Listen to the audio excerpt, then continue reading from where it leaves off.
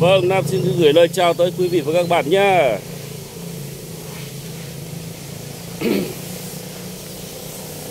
Hôm nay là ngày à, 26 tháng Chạp. Trước khi về Tết thì à, Nam sẽ đi à, hội chợ hoa Vạn Xuân. Ở ngay đầu đường cũng có một vườn hoa nho nhỏ đây, nơi người dân trưng bày để bán.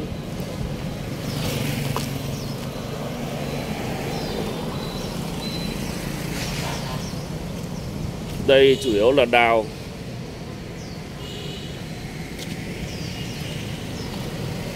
Vườn hoa này thì à, đây là một cái bãi đất trống. Cứ dịp à, qua dầm tháng chạp thì à, chủ vựa họ mang đến đây, họ trưng bày, họ bán.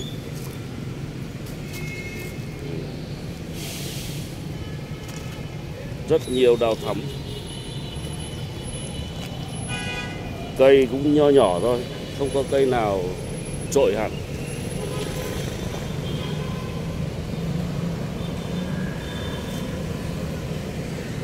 Đây có hai cây này to này, một cây thế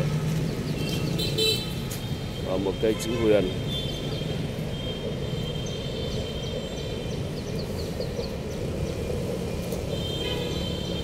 Đây là vườn đào của bác đấy à? À.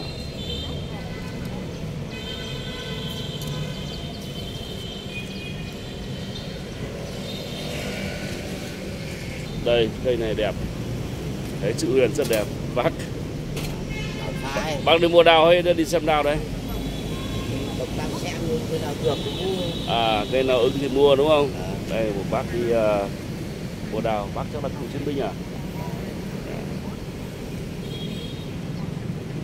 Nở nhiều quá. Năm nay uh, bắt đầu nở đấy bắt đầu ấm lên là nở. Nước đào năm nay cũng đẹp. Đây cây này cũng đẹp. Nhiều khi đẹp nhưng mà lớn cho thuê nhiều hơn à cho thuê hả? Đây này cho thuê nhiều vào này chắc là những cây uh, cây lớn lớn kia mới cho thuê. Cây lớn lớn này này. Đấy cho thuê. Cho thuê. đều cho thuê. Về chơi Tết xong rồi thì trả lại cho chủ vườn để họ trồng thôi một trăm. Ba triệu mấy bạc ba triệu mấy một cây hả? Yeah. bác chọn được cây nào chưa? Mấy cây bé bé kia chắc là họ bán đây đúng không? Bán đấy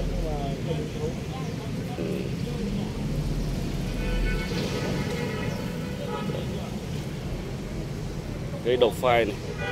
Nam rất là thích đậu phai nhé. Đậu phai nó cái màu nó phớt phớt hồng rất là đẹp. Nó sang. Cũng có nhiều người thích đậu thắm. Đậu thắm thì nồng nàn. Đây, đây này đậu phai. À cái này có cả đậu phai và đào ờ, đậu thắm. Hai loài hoa. Bên kia là thắm còn đây là phai. Đấy, họ ghép cành rất là đẹp. Lên hàng hay là Bác. cũng rộng ấy? chẳng biết được người bán hay người. Chào các bác.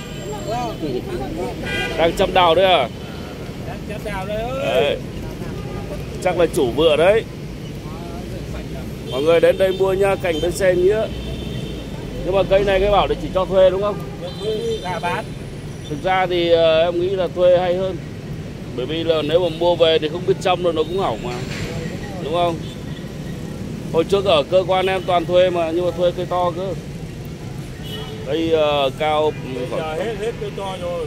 đúng rồi. Các công ty thuê hết cây to rồi.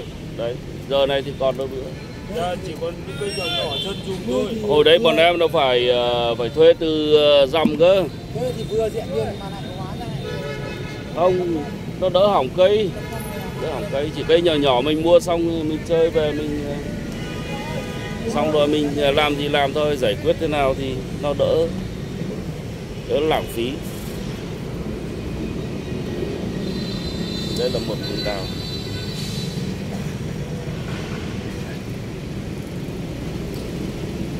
vườn nhà mình ở đâu bác? Ở trong ờ, trong làng à, à trong làng ý nghĩa luôn.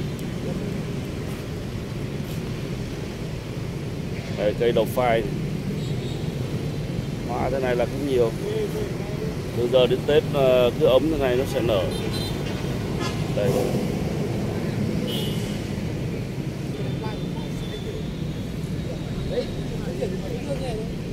Chỗ này rất là tiện phương tiện để vận chuyển.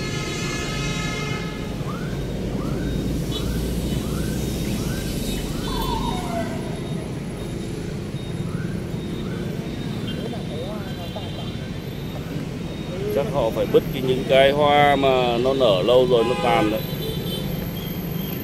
Để nó tập trung nhựa sống, nó nuôi những cái bông hoa còn lại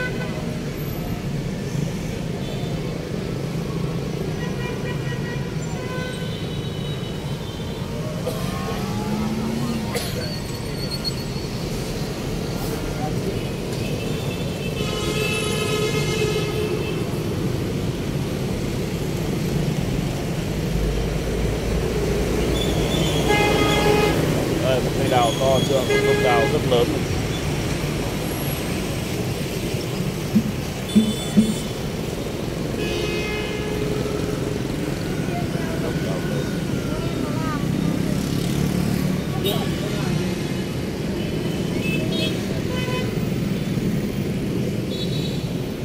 Còn đây thì một gốc đào cổ thụ. Một cây cổ thụ cây gỗ cây này gỗ. Thân rất là to con này phải đến 40 40 cm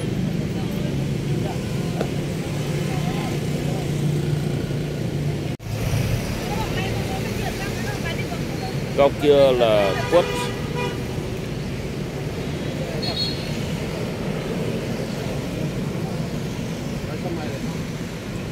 Đây là những chủ vừa đào.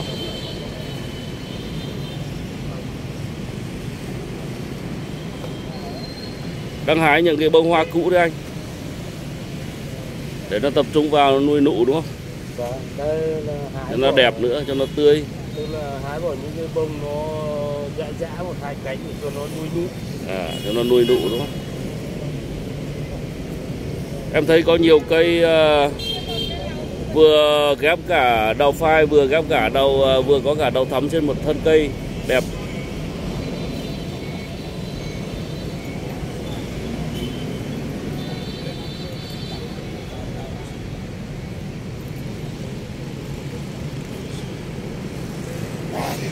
kia là người đi mua đào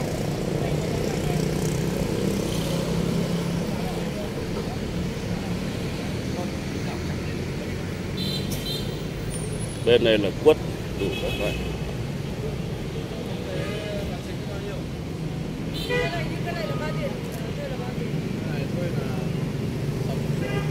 Cho nhân thuận này bao nhiêu tiền này mà đầu cái này được sáu triệu rưỡi Dạ.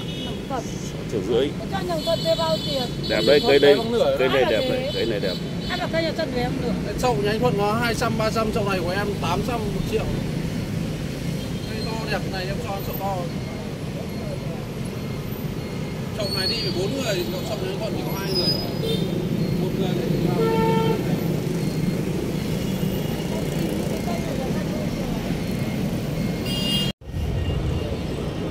đi mua đào đấy